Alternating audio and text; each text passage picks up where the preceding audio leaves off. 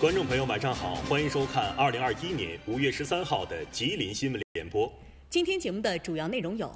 省委书记景俊海到乡村振兴联系点白城市通榆县向海乡复兴村实地调研；景俊海到白城市就产业转型升级、重大项目建设、生态环境保护等工作进行调研。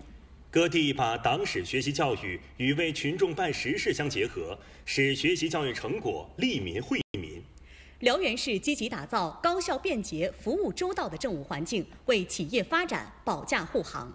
二零二一年海绵城市建设示范省级工作评审结果公布，吉林省位列第一档。以下来看详细内容。昨天，省委书记景俊海到乡村振兴联系点白城市通榆县向海乡复兴村实地调研，紧密结合开展党史学习教育，紧紧围绕推进乡村振兴，倾听农民群众意见建议，推动各级领导干部深入基层，扎扎实实为群众办实事、解难题。他强调，要深入贯彻习近平总书记关于“三农”工作重要论述和视察吉林重要讲话重要指示精神。进一步巩固拓展脱贫攻坚成果，聚力乡村振兴，破解民生难题，让农民群众得到实惠，感到变化。复兴村作为脱贫村，近年来村集体通过大力发展光伏扶贫、生猪养殖等产业项目，有效促进了群众增收。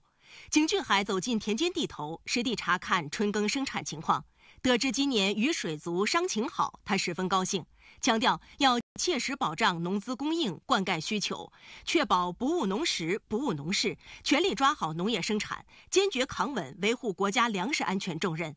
要创新运用大喇叭、短视频等传播方式，大力推广农业新品种、新技术、新经验、新模式，进一步促进粮食增产、农业增效、农民增收。景俊海来到正在建设中的复兴村肉牛养殖园区，对园区采取政府搭台、企业引领、金融助力、保险兜底、村级参与运营模式给予肯定，叮嘱当地干部精心设计谋划利益联结机制，最大限度激励群众参与热情。在复兴村党群服务中心，景俊海认真查看基层党建工作。强调要坚持基层导向，重心下移，进一步完善基层党建机制，更好发挥基层党组织战斗堡垒和党员先锋模范作用，带领群众推动乡村振兴，实现共同富裕。景俊海详细了解数字乡村系统建设运行情况，要求坚持先进实用，加快试点建设，以信息化助推农业农村现代化，有效提高服务“三农”水平。调研中。省市县乡村五级党委书记与复兴村党员群众代表驻村干部座谈，仔细倾听群众操心事儿、烦心事儿、揪心事儿，帮助解决群众反映强烈的民生问题。景俊海强调，在取得脱贫攻坚战全面胜利后，加快推进乡村振兴是以习近平同志为核心的党中央作出的重大决策部署。全省各级党委政府必须突出民生和发展两个关键环节。推进巩固拓展脱贫攻坚成果同乡村振兴有效衔接，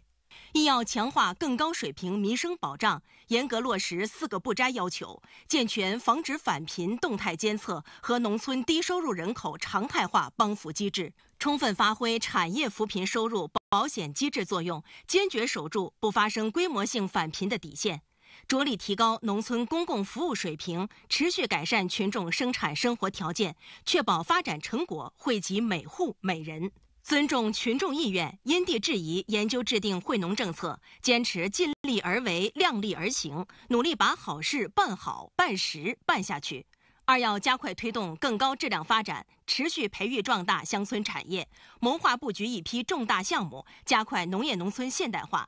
既做大做强村集体经济，又鼓励农民个人努力致富，大力发展县域经济，推动农村一二三产融合发展，创造更多就业岗位，促进农民就近就地就业，千方百计增加农民收入，建立完善职业农民职称评定机制，着力培养新型农民。三要全面加强党对乡村振兴工作的统一领导。把开展党史学习教育与为群众办实事结合起来，进一步落实五级书记抓乡村振兴机制，夯实包保责任，确保各项举措落地见效。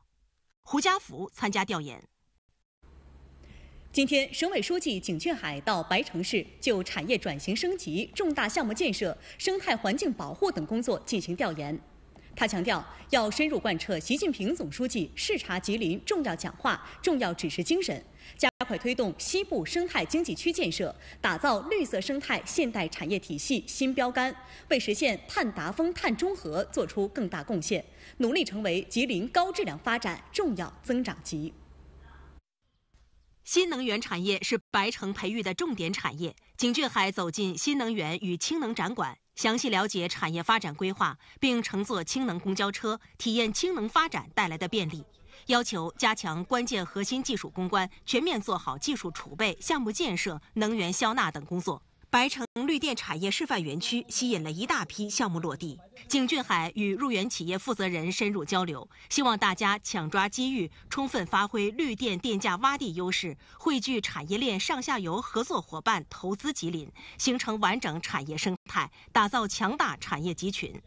吉林梅花氨基酸公司三期三十万吨赖氨酸项目正在紧张施工，景俊海现场踏查，并要求有关部门优化服务质量，为项目投产达效创造更好条件，叮嘱企业紧盯市场需求，前沿技术，拓展产品线，提高附加值，提升竞争力。鹤鸣湖公园是白城生态新区海绵城市建设的范例工程。景俊海实地查看公园建设运营情况，强调要充分发挥吸水、蓄水、净水、试水的城市海绵体作用，积极回应市民群众多样化需求，既改善区域生态环境，又打造生态旅游景观，为百姓提供休闲娱乐的好去处。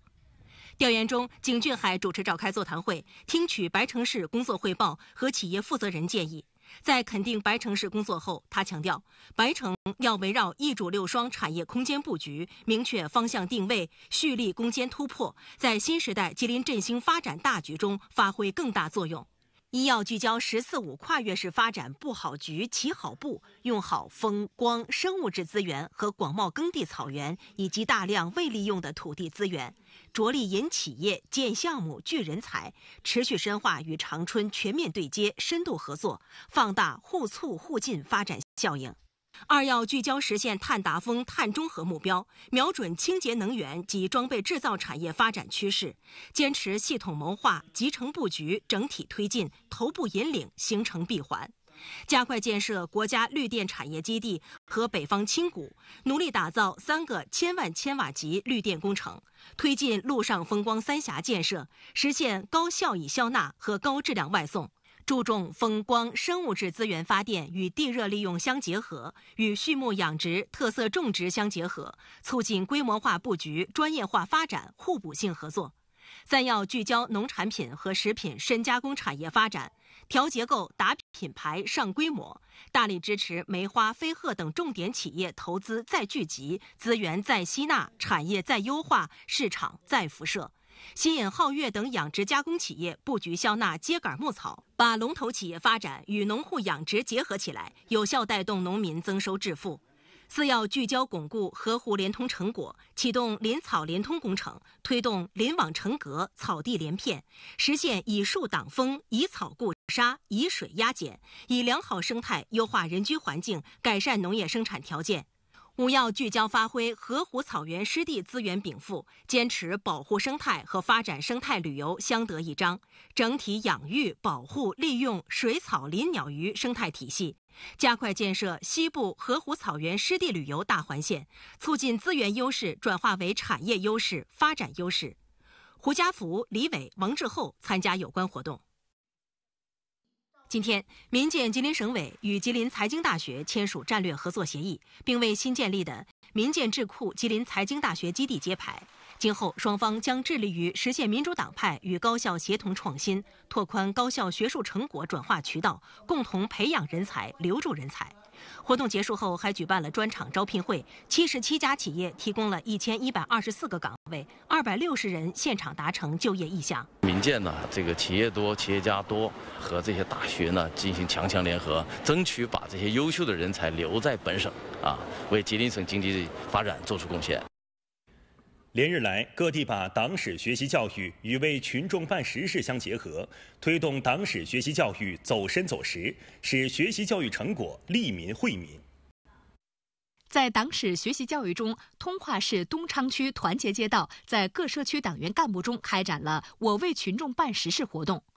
建和社区物业服务站的工作人员经过摸底调查，来到辖区内的二十栋气管小区，开展了维修服务，重点修整完善排水设施、防盗门、小区道路、健身器材和绿化植被等设施。我们这个小区也因为老年人多，呃，老年人和孩子没有玩的地方，社区又给咱们建了一个这么好的凉亭，给咱们小区啊打造了一个特别好的风景线。通过党建引领全覆盖、山长联动全覆盖、门前三包全覆盖、点单式服务全覆盖，提升治理能力，提高服务效能。在我为群众办实事实践中，延吉市公安局侧重解决群众急难愁盼问题，上门为多位行动不便的老年人办理了身份证、护照等证件。从开展便民服务、化解矛盾纠纷、推出便民措施慰问困难群众等多种方式，提升人民群众的幸福感、安全感和满意度。企业服务周活动开展以来，辽源市积极为项目建设、企业发展打造高效便捷、服务周到的政务环境，激发高质量发展的内生动力，让民营企业在前行道路上有安心、放心、满意的营商环境，保驾护航。这段时间，富奥汽车零部件股份公司泵业分公司正筹备新建铝合金壳体生产二期项目，需要在土地、环保、立项等多个环节办理审批。辽源市政数局组织十三个相关项目建设部门上门举办服务协调会，让企业能第一时间与项目建设前期需要的所有部门做好精准对接。先办哪件事，谁负责帮办？办结实现是什么？哪些事可以并联办？这些让企业困惑的问题，一次就得到了答案。现场解决我们企业的一些办理中的一些问题，而且办理的过程中有专人负责、专人指导，企业也真正的感受到我们辽源市的营商环境越来越好。对工程项目实行人性化服务、便捷化审批和智能化提速。依托省工程建设项目审批平台，协调市直十三个部门，先后共召开九次协调服务会议，为三十三家项目单位、四十三个项目进行了指导和服务，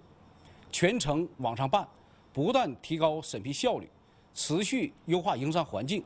不断增强企业获得感。今年以来，辽源市针对提升营商环境，制定了六十八项服务举措，在项目审批环节实行一次委托、综合测绘、成果共享，并进一步优化市政公用服务流程，为民营企业营造更好的发展空间。今年是吉林省第三个十年绿化美化吉林大地的开局之年。前不久，吉林提出五年增绿吉林大地、十年绘就绿美吉林的工作目标。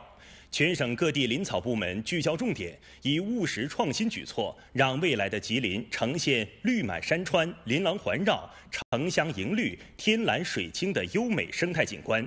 目前，全省已完成人工造林十七点六六万亩，达到全年任务的一半以上。这两天，梨树县十二万亩农田防护林建设任务已经完成百分之九十五。不仅做到屯屯有小树，每个乡镇还要建三公里精品廊道和一个绿美示范村。在具体分析当地气候和自然条件的基础上，他们创新采用灌浆式种植方法，先浇水培土，最后种树苗。灌浆式的那个种植方法，它的成活率是最好。现在我们的采水的品种呢是银中阳，银中阳的成活率也非常好。它病虫害还少。以防护林建设工程为抓手，今年吉林省将配套实施长白山森林植被恢复工程、森林质量精准提升工程等八大工程。未来三年，全省将完成七十七点五八万亩农田防护林建设任务，筑起一道抵御风沙、保持水土、护农促牧的绿色生态屏障。今年以来，梅河口共创建了三十个义务植树基地，提出利用五年的时间，投入八个亿，将森林覆盖率提高到百分之四十。“十四五”期间呢，我们要植树造林一百平方公里，十五万亩，要实现山水相间、河湖连通、森林包围城市的目标。今年，吉林省提出三十条实打实的创新政策，鼓励生态脆弱地区退耕还林，鼓励吸引社会投资，探索委托造林和合作造林模式。构建东中西三大生态主体功能区、长白山森林生态屏障、黑土地保护生态屏障等三区四屏三廊一网总体生态格局。吉林西部作为我省造林绿化主战场，把相关举措与乡村振兴紧密结合起来，大力发展经济林，让绿美吉林成为深度挖潜的富矿。眼下，大安市的沙棘产业项目正紧锣密鼓的筹备中，相关配套深加工企业今年十一月份就能投产。一棵沙棘树啊，能结这个果呢是，呃，十公斤左右，一公顷能接近十二万块钱，既解决生态这个作用，而且呢拉动地方的经济。如今的吉林湿地公园在逐步扩大，农村综合环境整治基本消灭了光杆路。林间建种经济作物立体经营有了规模，目前完成封山育林八点八五万亩，占全年计划任务的百分之二十三点七；完成退化林修复八点四八万亩，占全年计划任务的百分之一百六十九；完成森林后备资源培育三十二点八二万亩，占全年计划任务的百分之四十三点二；完成公路、铁路、河流绿化五千零五十公里。开展新型职业农民培训是推进乡村人才振兴的重要举措。日前出台的关于激发人才活力、支持人才服务乡村振兴的政策措施中，相关新型职业农民培训的内容有哪些？一起来了解。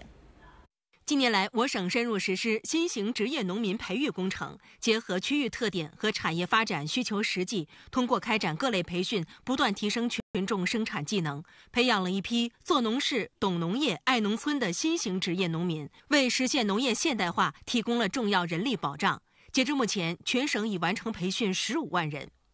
下一步，我省将重点从四个方面持续开展新型职业农民培训。建立以农业院校为引领、农业广播学校、农技推广单位等国家公益服务机构为基础，农业企业、农业经营主体等社会机构为补充的三位一体农民教育培训体系，强化种养加专业技能培训、生产经营能力提升培训、农业经营主体培育、农业经理人培训等分层、分类、分级培训和跟踪指导服务，优化开展理论教学、线上学习、实习实训、现场观摩、交流实践等，认定一批省内外不同产业、不同类型的先进的农业企业、农业组织等实训基地，通过云上智农、集农云等农民交流学习平台，加强农民在线教育培训。玉米是我省第一大粮食作物。为了让吉林的黑土地收获更多的粮食，十多年来，中科院东北地理与农业生态研究所研究员关义新，凭着严谨科学的治学态度和不达目的绝不罢休的执着精神，让黑土地保护性耕作技术在吉林大地落地生根。正值我省大田播种的关键期，中科院地理所的研究员关义新一直活跃在梨树的田间地头，手把手指导农民利用保护性耕作技术开展春耕生产。作为梨树模式研发团队的一员，关义新主创完成了适用于梨树模式耕作的第一台免耕播种机，有效解决了东北玉米连作条件下秸秆覆盖还田的播种施肥一体化作业难题。这些年来，关以新对于种地的每个环节都精益求精，一年中有两百多天都扎在田间地头。在上大学之前呢，就比着那些书啊，去想办法怎么能把这个玉米种得更好，产量更高，更省事儿。感觉到用科学是可以更好的种田，更节约成本的种田的。所以说，当我今后在这个人生的事业抉择的时候，毫不犹豫地选到一个就是搞玉米栽培的一个单位。农业科研周期漫长，需要科研工作者长期持续投入。农忙时节，玉米播种、授粉、收获，步步离不了人。有些关键工作，关义新必须亲自动手才放心。种子是农业芯片，在钻研免耕播种技术的同时，关义新和他的团队一直在努力进行玉米良种的培育攻关。种子资源亏缺，特别是优质种子资源更亏缺了。第二，育种技术落后。第三个呢，就是这个育种规模太小。我一直在想，我怎么能够帮咱们国家的这个种业，特别玉米种业，就是发展起来。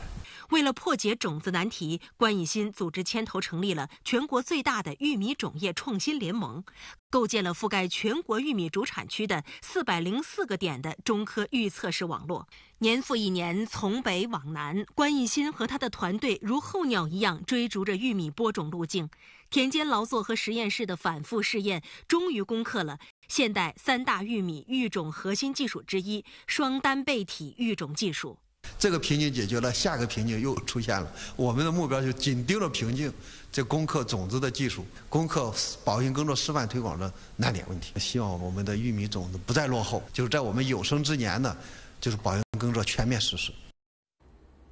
五月十二号，省政府新闻办召开的关于改革完善社会救助制度的实施意见政策解读新闻发布会上，各部门围绕教育、医疗、就业、住房等领域发布了一组组有关社会救助的数字，充满吉林温度。社会的温度取决于底线的刻度。发布会上，多部门介绍了我省社会救助工作在“十三五”期间取得的成效。在困难群众救助方面，五年来，吉林省累计投入困难群众救助补助资金二百五十七点一亿元。以城乡低保标准为例，分别达到月人均五百四十六元和年人均四千三百七十二元，比“十二五”末分别增长百分之三十五点五和百分之六十点八，有效疏解了我省九十五点五万低保对象的基本生活困难。医疗救助方面，我省在二零一五年出台医疗救助实施意见，二零二零年健全医疗救助托底保障机制。截至二零二零年底，医疗救助共资助困难群众参保一百二十六万人，支出基金两亿元；直接救助七十八万人次，支出基金三亿元。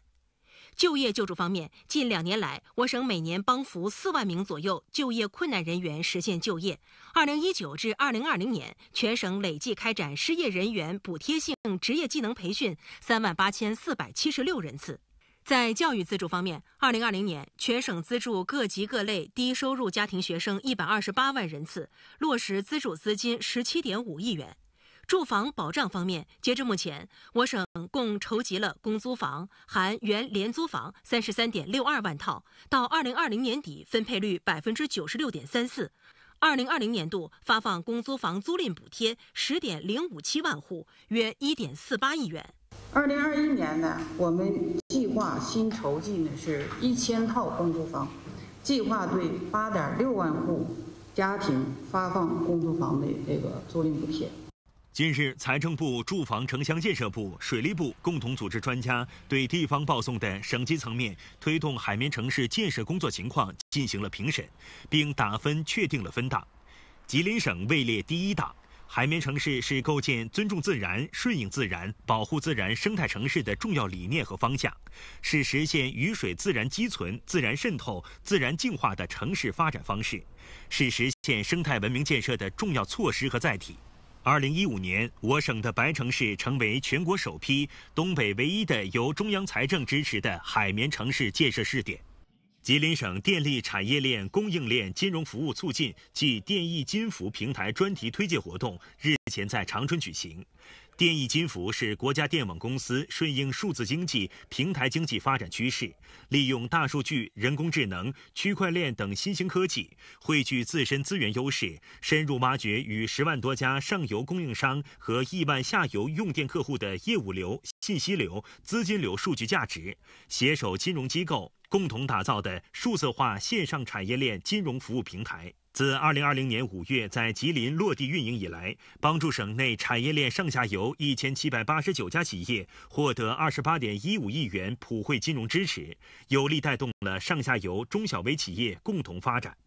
下面来看我省新型冠状病毒肺炎疫情的情况通报。5月12号0至24时，全省无新增确诊病例和无症状感染者。大型乡村题材轻喜剧《鲜花盛开的山村》今晚在吉林卫视继续播出二十四至二十五集。田春秀和邱雨生感情破裂，乡村旅游工程被迫叫停，两千万投资款无法偿还。更多精彩内容，敬请收看吉林卫视浓情剧场。节目的最后，走进梅花鹿之乡东丰县皇家鹿苑博物馆，领略东丰鹿文化的精髓。建成于二零一九年七月的皇家鹿苑博物馆是东丰县第一座梅花鹿文化博物馆，设有盛京围场、养鹿关山、万寿堂、御膳房、马厩鹿茸等二十多个展区，年接待二十多万人次。博物馆通过对人物、事件、场景的重塑，再现了东风梅花鹿发展的历史渊源。